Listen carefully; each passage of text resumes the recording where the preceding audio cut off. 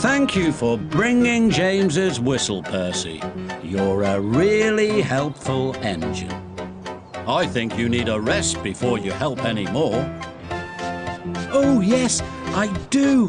And I need some water too.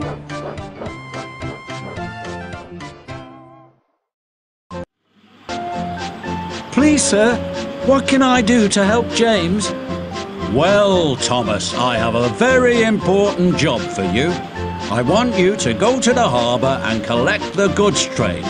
There might be some spare parts in the parcels that will help us repair James. Thank you, sir. I'll be as fast as I can.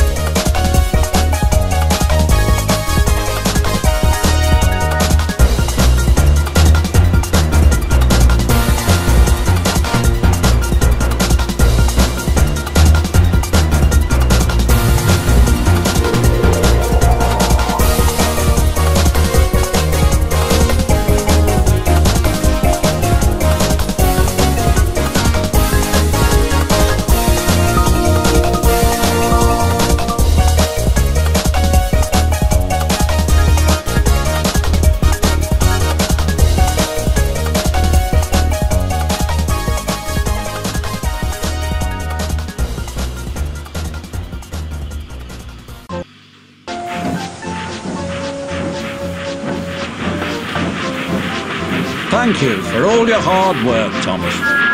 I'm glad I was able to help, sir. The troublesome trucks behaved very badly, but we managed to finish the job. All's well that ends well, Thomas.